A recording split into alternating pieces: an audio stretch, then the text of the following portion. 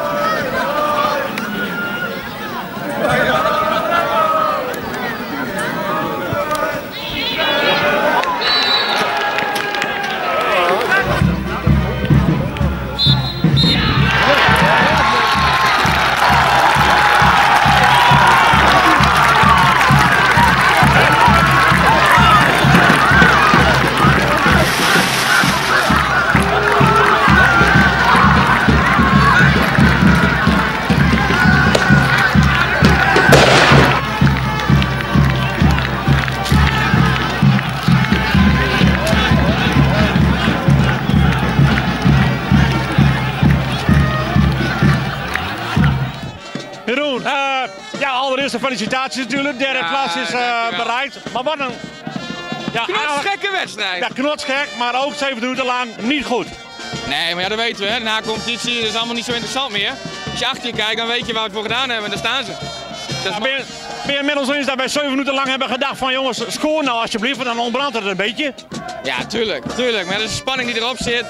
En eh, ondanks alle verhalen dat zij er niet voor zouden gaan en dat ze ons een eh, cadeau zouden geven.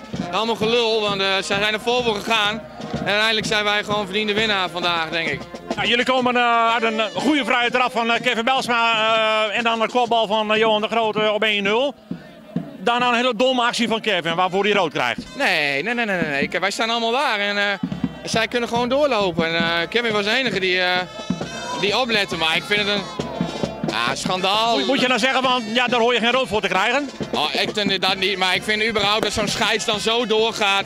Nou, dan snap je helemaal niet waar het hier om gaat. Dan, dan hoor jij hier niet thuis. En dan, eh, ik, ik vond het echt schandalig dat je dan zo'n beslissing neemt. Dat heeft helemaal geen zin. Ja, dank je. Maar goed, we waren even gebleven bij Kevin Belsma. Die wordt dan met rood van de veld gestuurd. Niet veel later vliegt uh, Romy Kuipers er ook af. Ja, terecht. Hij pakt hem. Dat moet je niet doen. Dus uh, dat zal gerechtigheid zijn, karma, hoe je het ook maar noemt. Want uh, nou ja, dan scoort hij 2-0. Ja, ik, uh, ik kreeg een hele nagevoel bij, bij onze scheids van vandaag. maar het is allemaal niet zo belangrijk meer. Het is groot feest hier en daar gaat het om. Wordt nog even 2-1, denk je van nou, wordt het toch nog spannend? Er was wat twijfel of die goal wel geldig was. Wat was de reden? Waarom vlagden jullie er gezegd? Stond hij, die, die achtersman stond voor mij gewoon op de, op de achterlijn. Uh, stond hij dicht bij de, de paal bijna aan. Dus het is gewoon buiten spel. Maar de scheids had al lang bewezen dat, hij, uh, dat wij hem niet mee zouden krijgen in elk geval. Maar goed, nogmaals, zoals je terecht al zegt, jullie zitten in de derde klasse. meer dan je eigenlijk aan vooravond van het seizoen verwacht had. Uh, ja, nou, soms even heel snel terugblikken. Uh, nee joh, we hebben heel seizoen, mooi seizoen gedraaid. We hebben hard gewerkt in de na-competitie, dat was niet mooi. Maar uh, dat hoeft dan ook niet. We hebben het hele jaar laten zien uh, wat we kunnen. Dus hoeft, we hoefden hier niemand meer te bewijzen hoe goed wij kunnen voetballen met elkaar. En twee wedstrijden moesten we karakter tonen. kijk maar naar Vincent, die mouw omhoog en gewoon volle bak ervoor gaan. En dat hebben we twee wedstrijden gewoon gedaan. Ik zou zeggen, stort je het feest gewonnen, Jeroen. Zeker doen.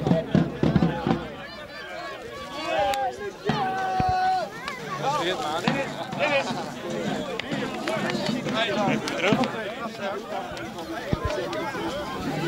gaan even zo naar Dennis. Dennis, uh, ook gefeliciteerd jongen. Uh, het ging wat moeizaam vandaag. Ik vond jullie vorige week zelfs beter voetballen moet ik zeggen. Ja. Maar uiteindelijk, uh, ja die 2-0 hè. ja. Dat was hem. Ja, dat was hem gelukkig wel. toen het eigenlijk, denk ik dat het klaar was. Ja, als je kijkt, vandaag was het geen mooi voetbal van beide kanten niet. we wisten dat zij ook volle bak zouden gaan. En als je kijkt wat wij met deze, jongens, met deze jonge groep dit seizoen neergezet hebben, kunnen we alleen maar trots op zijn, denk ik. Ja, is het verlies van, uh, van Jeroen de Groot aan het begin van de wedstrijd toch een aderlating? Uh, ja, dit is gewoon een belangrijke speler en onze aanvoerder. En uh, als hij eruit gaat, die mis je natuurlijk altijd. Dat is een belangrijke schakel. Staat centraal achterin, geeft leiding. Dus ja, dat is wel een aderlating. En, je moet wat omzetten, maar ik denk ook de jongens die vandaag ingevallen zijn. Gewoon prima. Ze, zeggen, ze zeggen altijd, Dennis, tegen jou met alle respect, oudere speler van Polster. Wat kunnen we van jou nog verwachten in de derde klas volgend seizoen? Uh, ik ben net 30 geworden, maar dat zegt helemaal niks. Uh, ik ga gewoon lekker een jaartje door nog. Derde klas. Uh, we zien wel hoe het loopt. Wel met Polster uiteraard? Uiteraard met Polster, sowieso natuurlijk. Dat is helemaal geen, geen issue of wat dan ook. We gaan gewoon lekker naar de derde klas. Als je kijkt, deze jonge groep heeft een jaartje ervaring opgedaan. En weten dat we in de derde klas meer tijd en, en ruimte misschien te krijgen, krijgen om te voetballen. Dus uh, ik heb er alle vertrouwen in uh, met de begeleiding met onze spelersgroep die uh, gewoon lekker bij elkaar blijft. Dat we gewoon volgend seizoen ook weer een mooi, mooi seizoen neerzetten. Doen allereerst de felicitaties met het bereik van dit resultaat. ze raakten jou al vrij vroeg in de wedstrijd kwijt. Wat, wat gebeurde daar precies? Ja, ja precies kon ik, weet ik het niet. Maar ik stapte uit met mijn rechterbeen en mijn linkerbeen bleef staan. En toen, toen knapte het. Nou, dan schrik je enorm. En, en er zat binnen een, een paar seconden zat er een bult op. Ja, dus ik wist wel dat ik niet verder kon in ieder geval. En uh, nou ja, binnen gekeken en er zit vocht in. En onze verzorger uh, die zei van nou waarschijnlijk heb jij een, uh, of een scheur in je kruisband of hij is helemaal af. Maar qua pijn valt heel erg mee, dus gelukkig. Ik vroeg ook gelijk, zo moet ik naar een doktersdienst of wat dan ook, maar dat liever niet. Nee, dat hoeft niet. Over vier dagen kunnen ze pas een foto maken. Dus, dus daar ben ik wel blij om. Maar ja, wel kloten, dat, dat absoluut. Ja. Ja, dan zal de Polonaise wat lastig worden voor jou vanavond, denk ik. Ja, maar hoe, hoe kijk je dan naar zo'n wedstrijd? Ja, je weet bij de wedstrijden dat, dat, het gewoon niet goed wordt. En uh, het is heel hard werken. En, en uh, ja, het was, het was, het was uh, toen we 2-0 kwamen, toen dacht ik nog van nou, we zijn er nog steeds niet. En dan viel die, viel die goal nog. Het maakt de ontlading wel des te, des te groter natuurlijk. Dat je gewoon een spannende wedstrijd. Want spannend was het absoluut. Goed niet. En uh, die vrije bal op de lat nog op het laatst. En daarna ging hij er uiteindelijk nog in. Ah, dit, ik ben er niet voor gemaakt, uh, voor die spanning. Maar uh, ah, super mooi natuurlijk. Ja, absoluut. Ja, des te leuker is de ontlading, zeg ik dan. Maar ik laat je niet langer hier staan, Jeroen. Dat, dat gaat vast een stortje, stortje erin, zou ik zeggen.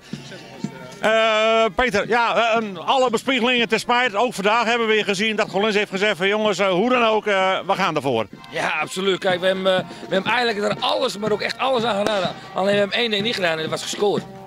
Ja, en jullie hebben, uh, ja, ik moet zeggen, we waren 10 minuten aan de gang in de tweede helft. Toen dacht ik, goh, het is het verhaal van de 10 kleine negentjes. De een na de ander, die viel lang uit, hè? Ja, dat was natuurlijk wel heel vervelend voor ons. Hè. Kijk, er viel twee, ja, eerst Ali Pietzak viel eruit met een blessure.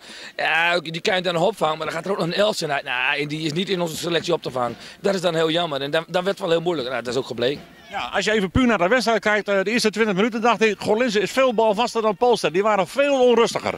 Ja, maar dat kon je eigenlijk vorige week al zien. Dat kon je ook zien aan de kopje van Poster. Die waren natuurlijk super gespannen. En dat moet ook met zo'n wedstrijd. Alleen, ja, wij, hebben, wij hebben gewoon, dat werken we hebben niet gescoord. Kijk, ik vind ons over de hele wedstrijd en wij, wij, de betere ploeg. Alleen, je scoort niet. Nou ja, dan heb je ook je eigen schuld, dikke beeld. Ja, je degradeert naar de vierde klasse nu. Uh, nou ja, jij niet. Uh, of jij ook, moet ik eigenlijk wel zeggen. Maar goed, uh, dat is dan met een andere club. Hoe laat je Godlins achter? Je had natuurlijk graag gewild dat ze in de derde klasse gebleven waren. Niet gelukt. een en al treun is nu bij Godlins of zeg je, valt er mee? Nee, dat denk ik niet. Er is geen treuners bij Golense. Kijk, we natuurlijk allemaal als sportman, als trainer. Ik vind het gewoon ontzettend vervelend dat je degradeert. Alleen, de, ik denk dat, er wel iemand blij is, dat zal het bestuur zijn, dat we vierde klas zijn gewonnen. Alleen, we hadden echt afgesproken, we willen niet, we willen niet verliezen. We willen niet naar de vierde klas toe. En daar hebben we ook alles aan gedaan. Alleen, ja, ja. Ik, ik ook, ik zei ook met een, ik woon met een opgeven wel ver dat je niet wilt degraderen. Nou ja, het is wel gebeurd, dat is jammer. Nou ja, voor mij is het volk jaar weer mooi speel met Correndos bij... Uh, Godlens uit, dus heb ik weer uh, een mooie wedstrijd voor de boeg. Ja, jullie krijgen er natuurlijk weer inderdaad een paar hele leuke voor de boeg. Uh, even heel snel terugkijken, Peter, want Jeroen de Merogera die wilde dat liever niet. Maar hoe kijk je op dit seizoen terug? Dat heb ik ook in, heb ik op het einde nog even gezegd in de, in de, in de kleedkamer. Kijk, we hebben gewoon heel, heel slecht, maar ook heel slecht seizoen gehad. Kijk, eigenlijk, eigenlijk kun je maar op één manier goed maken en dat was vandaag te winnen. En daar hebben we dus niet geluid. Dus hij heeft gewoon een waardeloos seizoen gehad. aan de weer en aan de sfeer lag het niet, hè? Nee, kijk, het dorp, eh, het dorp Spijk is natuurlijk heel, die, die gun je dat gewoon. Ik bedoel, de hele entourage is super. Ze hebben er alles aan gedaan om een, een, leuke sfeer te krijgen. En dat is ook gelukt. Ik bedoel, het dorp gun je het gewoon in. Ja, ik ben niet anti-poster, ik gun het ook. Alleen het is jammer dat het over ons, onze rug is gegaan.